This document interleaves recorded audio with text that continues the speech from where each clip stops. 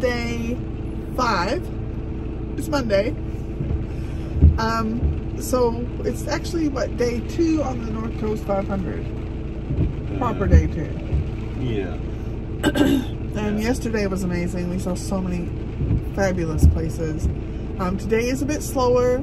Uh, we get to our campsite a bit earlier, so hopefully I'll be able to edit some videos. If the rain lets up, maybe we'll get some footages right on the beach.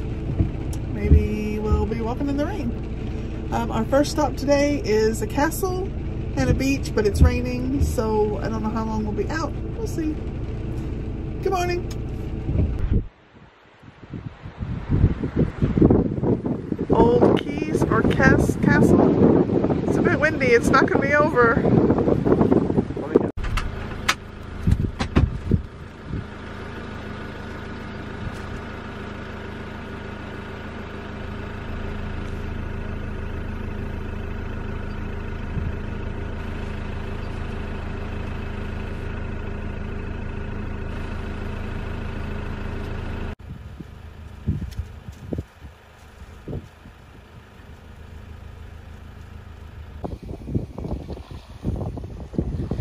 This is Keys or Kess Harbor. I'm not sure how it's pronounced. When we put it in the navigation, they said Keys Harbor. So, eh, I'd go with that.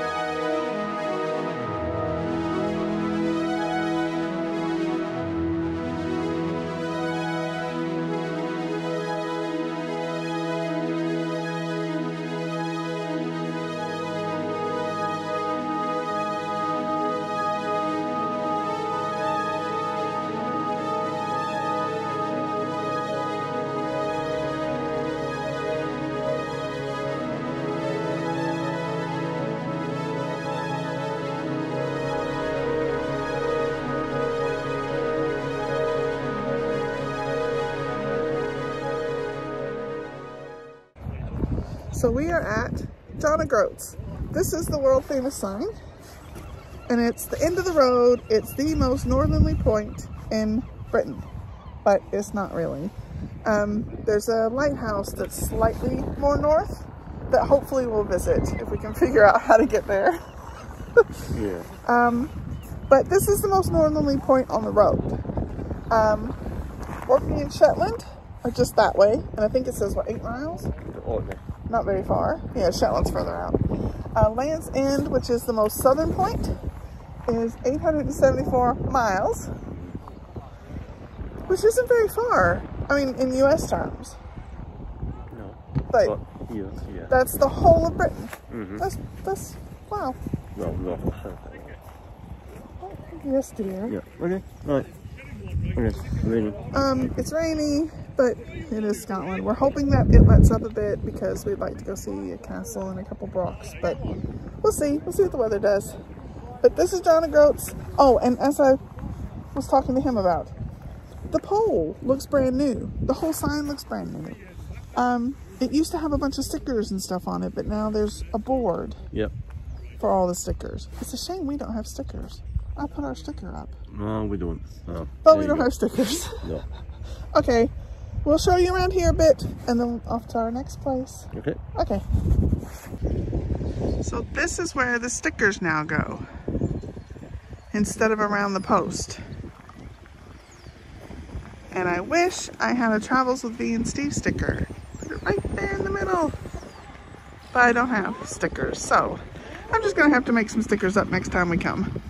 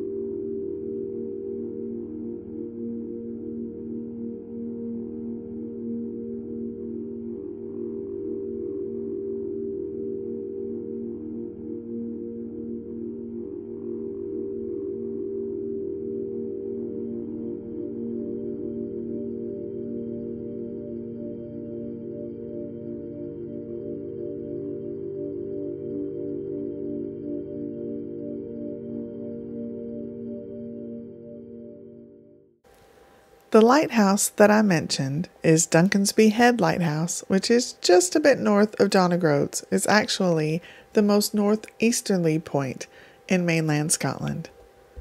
It was extremely windy and heavy rains, so I decided to do a voiceover because you wouldn't hear me with all the wind. It was crazy wind.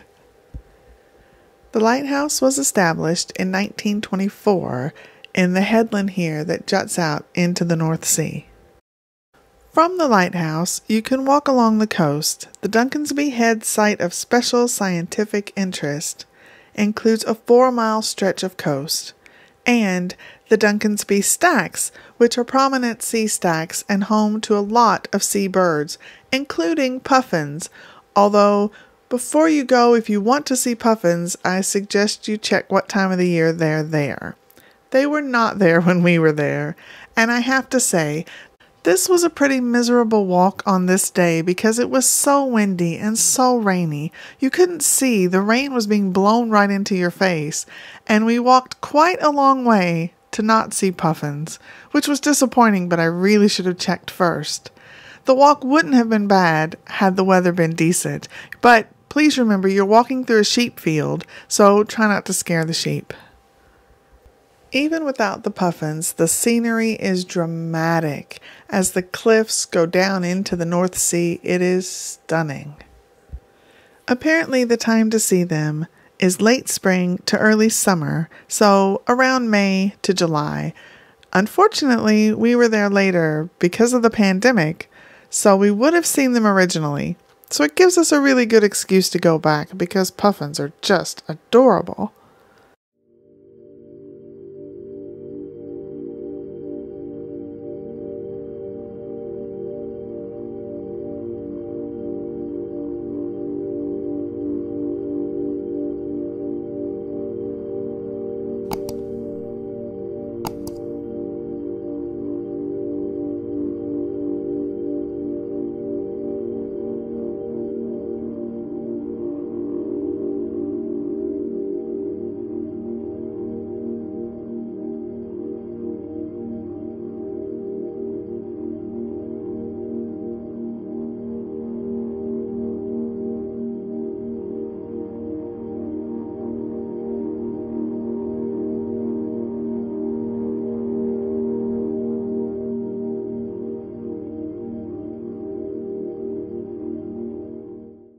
This was the first night I did some proper cooking in the camper van. I made a curry.